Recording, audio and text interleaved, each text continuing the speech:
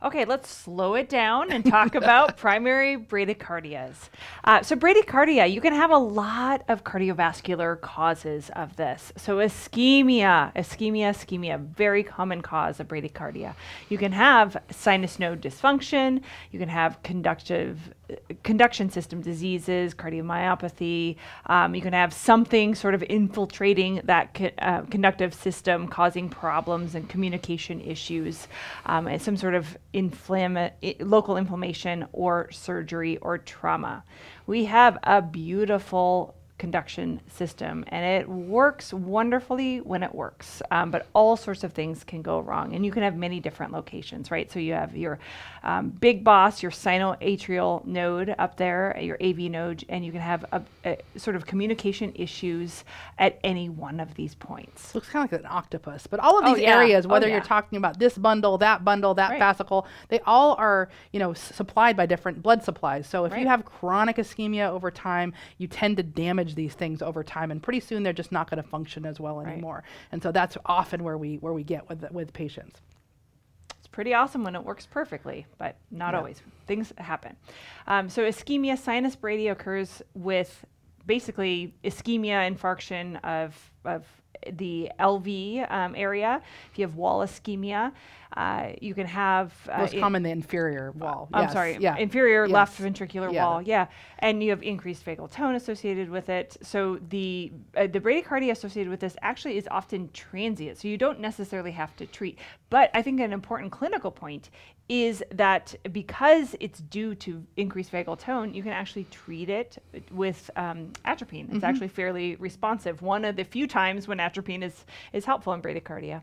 Uh, you can have sino, uh, uh, SA node ischemia, very common with when your RCA is involved as well, or left circumflex. So you may have uh, myocardial ischemia that impacts your AV node. Um, the sort of low degree AV blocks, the first degree block, and the second degree AV block type 1 or Wenke block. Wenke um, is generally stable. You don't need to, to treat them. They're usually uh, uh, of little consequence. But the higher degree AV blocks, much more serious. The second degree type 2 um, and third degree, uh, the type 2 can progress to, to complete heart block. Um, and those often involve the RCA.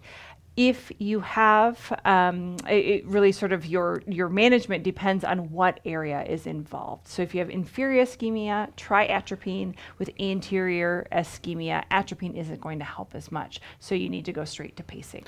So that low and high degree heart block, it's really worrisome versus not so worrisome. If we see a first degree heart block where we still see P waves, there's a little bit of a distance between our P wave and our QRS, but we still have P waves. That's first degree, no big deal. There's no specific treatment for that. And then we have to talk about our secondary. There's type 1 and type 2 just as a review. Remember that if you have the P wave and it's kind of progressively marching out and then you drop one, that is not as big a deal as one where you just basically have a fixed rate between your P wave and your QRS, but you're dropping out unpredictably. That's sort of a harbinger of badness that we don't know mm-hmm. when all of a sudden we're just not going to conduct at all and the two things are not going to talk anymore at all. So we've got really non-concerning and very concerning types of heart block. Third degree obviously is obviously a big deal when our P's and our QRSs aren't talking anymore.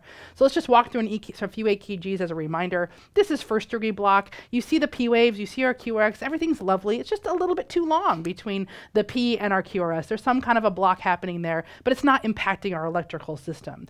This one is the classic um, Wenckebach or Mobitz one, where again, it doesn't look too, it's not slowed down too much. Certainly this isn't too much of a bradycardia, but if we look closely at our PR interval and our P waves, we see that that PR interval is getting longer, longer, and then dropping, but it picks back up again, looks normal, and then longer and longer, and then dropping. It's just kind of a warning sign to where we get here, and we've definitely slowed down here, haven't we? So this is a Mobitz type 2.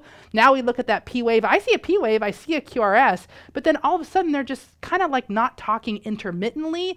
This is like, okay, next stop on the bus is a third on, yeah, degree. yeah. Pretty soon you're not going to see so many QRSs on this EKG. You're just going to see Ps and QRSs happening randomly, which is what happens here. So all of a sudden we are really in bradycardia territory and we see Ps and we see QRSs, but there's really no correlation. And as I measure those out, there's no predictability to it. This is a complete heart block and very and very dangerous. Obviously, it's very very slow, and if the patient's symptomatic, this means we need to do something.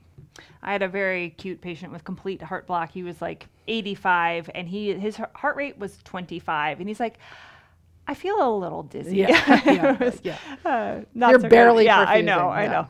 Um, so treatment of heart block again, those lower uh, um, blocks are it's really just no treatment. Um, you get them follow up, um, but the higher degree blocks, pacemaker is really the treatment of choice.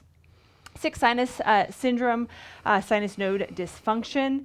Uh, often, you these patients will require pacemaker um, as well, and um, the treatment of sinus node dysfunction um, should often you know it, depends on their symptoms Yeah. uh, bottom line. So if they're asymptomatic you don't urgently need intervention they all need follow-up because there's a reason why this happened. Um, if they are symptomatic again um, it depends on how symptomatic they are and they may need a pacemaker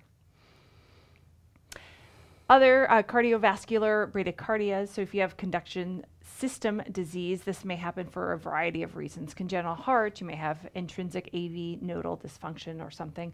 Uh, basically, treat these patients as a primary uh, bradycardia. If you have some sort of infiltration of the heart, um, same thing, you treat them as primary bradycardia. Um, if you have a local inflammatory process, the most common is myocarditis. You treat them as uh, secondary bradycardia, basically similar to MI. You want to stabilize them if they are hypoten- or hy- hypotensive. Um, they may need inotropic support as well. Yeah, I think the difference here is that there are some bradycardias that are just really not going to reverse. So it's a primary Right. bradycardia. But like something like myocarditis, or there might be ischemia to the node that might recover. There may be a period where it looks very slow and maybe we can temporize it. But if we could get them to recovery, if we could reperfuse them, or if their myocarditis could subside with some kind of anti inflammatory treatment, then that's really a secondary bradycardia that we want to see if we can temporize, not necessarily put in a pacemaker. They may not always need that. So that may be something that might resolve as a possibility.